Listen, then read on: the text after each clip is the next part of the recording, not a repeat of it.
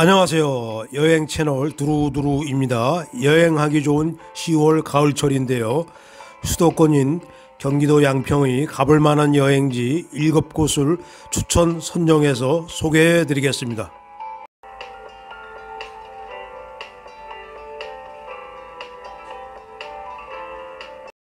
첫 번째로 소개하는 곳은 들꽃 수목원입니다. 양평읍 오빈리 210-37번지고요. 입장료가 대인이 9,000원, 소인이 6,000원입니다.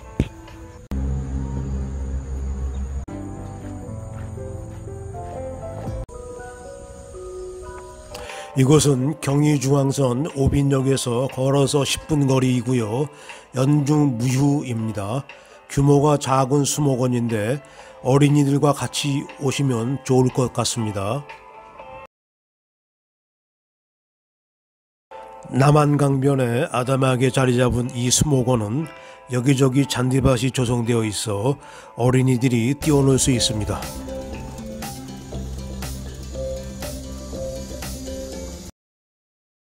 또한 중앙 언덕에 위치한 팔각정에 오르면 유유히 흐르는 남한강의 전망을 볼 수 있습니다.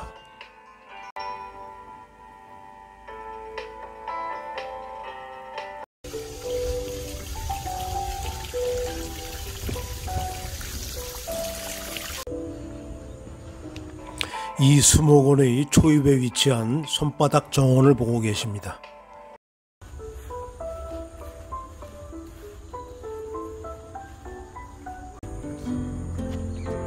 수생 연못에는 많은 연꽃들이 자라고 있습니다.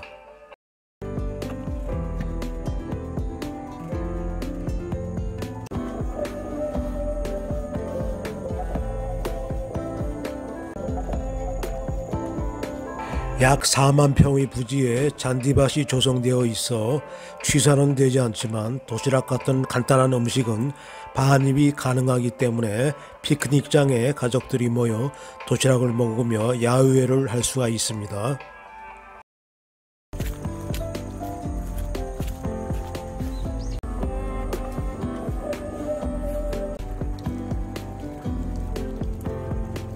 양평 가봐야 할 추천 여행지 두 번째는 용문산 관광지입니다. 용문산은 경기도 제4위 고봉이고 웅장하고 수려한 산세의 명산입니다. 산 아래 산책로와 공원 야영장이 있는 관광지가 형성되어 있고 산길을 따라 15분 오르면 신라시대의 천연고찰 용문사와 천연기념물인 우리나라에서 제일 큰 은행나무가 있습니다. 용문산은 대인 2,500원, 소인 1,000원의 입장료가 있으며 주차료는 승용차 기준 3,000원입니다. 입장료를 내고 매표소를 통과하면 예쁘게 잘 조성된 공원이 나오고 소나무 군락이 마중합니다.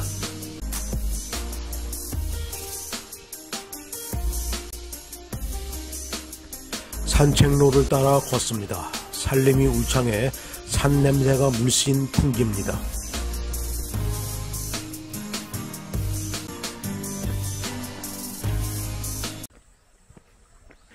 산책로를 걷다 보면 어느 순간 멀리 용문산이 보입니다.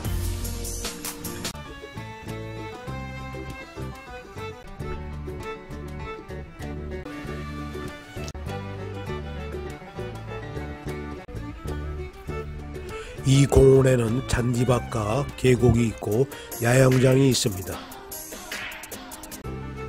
이제 등산로를 따라 15분 정도 용문사로 올라갑니다.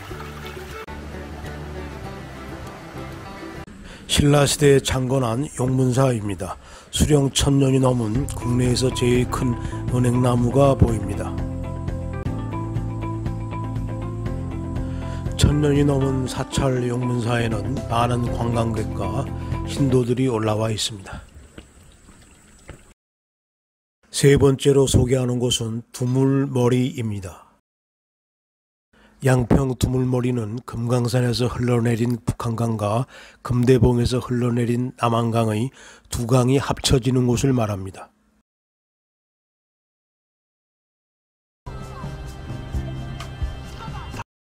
두물머리는 연중 무휴로 어느 때나 방문할 수 있고 입장료와 주차료는 무료인데 휴일에는 극심한 정체와 많은 인파가 몰리니 평일에 가실 것을 추천합니다.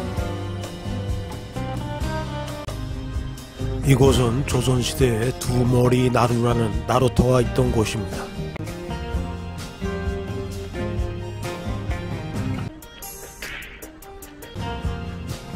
카페 앞 거리입니다. 잔디밭에 메타세콰이어 나무가 심어져 있습니다. 두물머리 소원 들어주는 나무 앞에 사람들이 많습니다.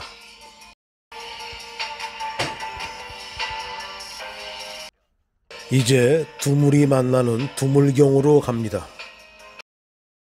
두물머리 끝부분입니다.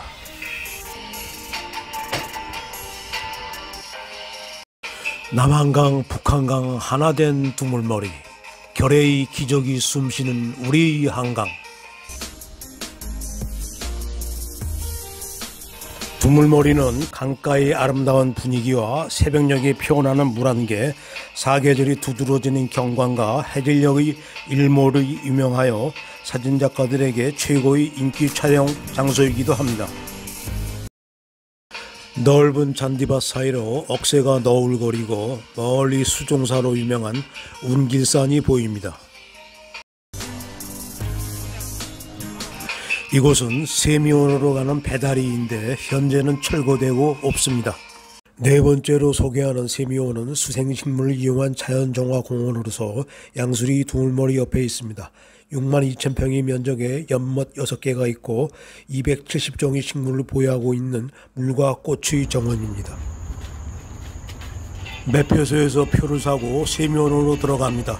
입장료는 대인 5천원이고 소인 3천원이고 주차료는 없습니다. 들어서자마자 남이섬의 메타세콰이어 길을 연상시키는 길이 나옵니다.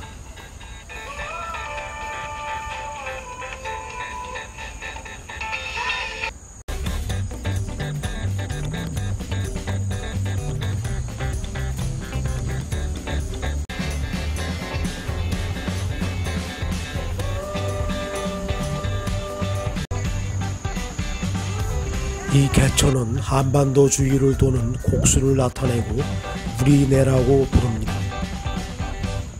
징검다리로 한 바퀴 돌아서 한반도 형상을 본뜬 국사원 연못에 들어섭니다. 이 국사원 연못은 실제 백두산의 돌과 흙, 백두산에 자생하는 식물들로 구성했습니다.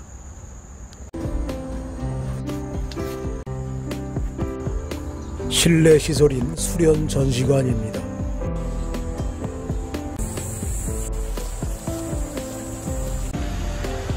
열대 지방에서 자라는 수련과 호주 수련을 볼 수 있는 열대 수련 연못입니다.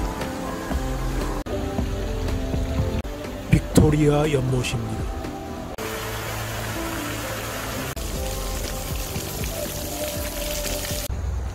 추사 김정희의 세안도를 기리는 세안정입니다.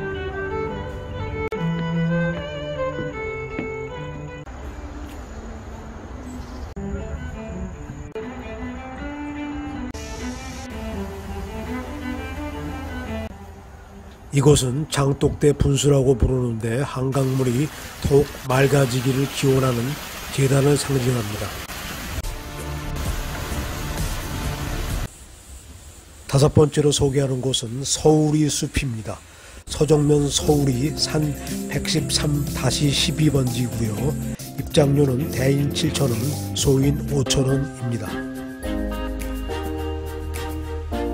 이곳은 2014년에 개장하였고 10만 평 규모의 수목원인데 자연을 해치지 않고 자연 그대로의 모습을 보여주고 있습니다.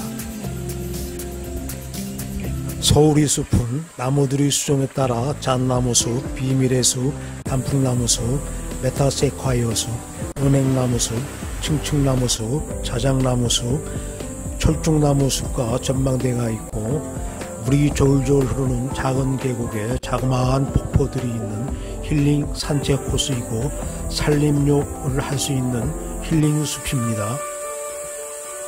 이곳이 B코스의 마지막 부분입니다. 서울의 숲은 1시간 길이 A 코스와 30분 길이 B 코스로 나뉩니다.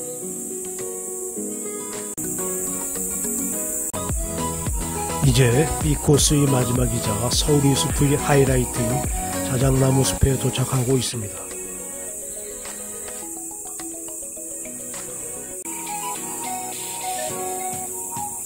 숲의 여왕이라는 별명이 있는 자작나무 숲의 향연에 흠뻑 취하고 있습니다.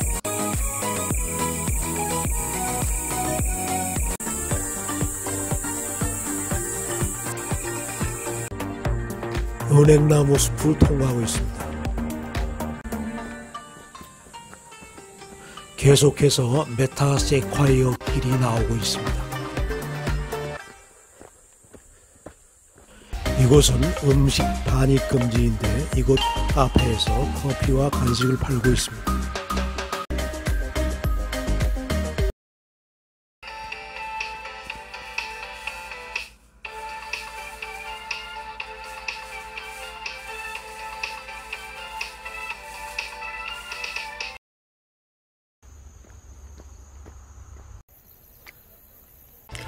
여섯 번째로 소개하는 곳은 양평 패러글라이딩 활공장입니다. 이곳의 주소는 옥천면 신봉리 산 151번지입니다. 이곳은 양평에서 가평으로 넘어가기 전 37번 국도변에 자리 잡은 곳입니다. 등산과 계곡 관광지로 유명한 유명산 뒤쪽의 밑자락에 자리 잡고 있습니다.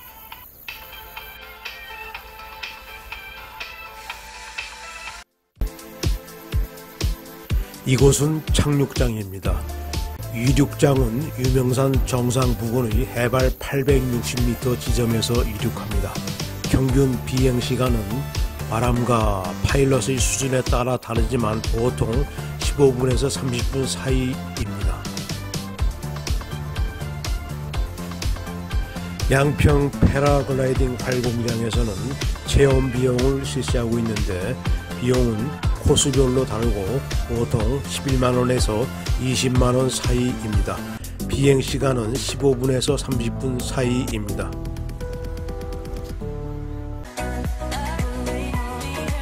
인터넷 검색으로 쉽게 예약을 할 수 있습니다. 패러글라이딩은 하늘을 나는 레포츠로 위험이 있을 수 있지만 숙련된 파일럿이 함께하는 체험 비행은 안전하게 하늘을 나는 비행을 경험할 수 있습니다. 일곱 번째 마지막으로 소개하는 곳은 양떼 목장입니다. 강원도가 아니고 경기도 양평의 양떼 목장입니다. 이곳의 위치는 용문면 광탄리 300번지이고요. 용문산 자락의 6번 국도변에 자리 잡고 있습니다. 입장료는 6천원입니다. 입장료에 양에게 먹일 건초 더미가 포함되어 있어 양에게 먹이를 주는 체험을 할 수 있습니다. 건초 더미를 가지고 양 우리에 다가서면 양들이 먹이를 먹으려고 다가옵니다.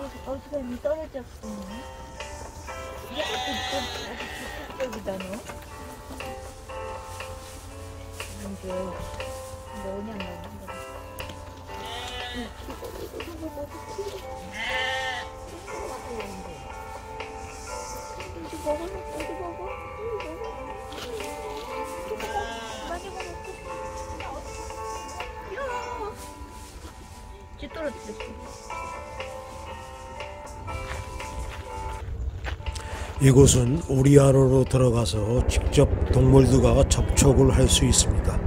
양과 염소 그리고 토끼와 돼지도 있습니다.